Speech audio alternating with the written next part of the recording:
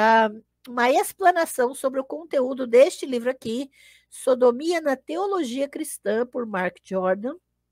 Aí nós vamos ver o conceito de sodomia na teologia cristã. Esse livro especificamente, que eu estou trabalhando na tradução dele, as lives, tá? Falando sobre o conteúdo deste livro.